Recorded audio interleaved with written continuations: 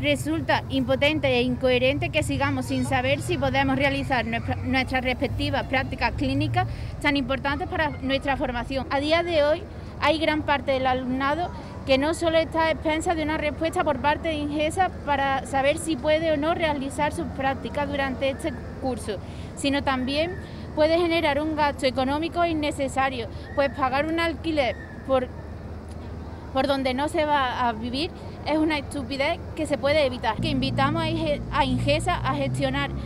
una solución valorando la situación sanitaria que existe actualmente en Ceuta de una manera individual, no comparándola con Melilla donde se encuentra una situación diferente por causa del COVID-19. Con Ingesa nosotros no tenemos ningún tipo de,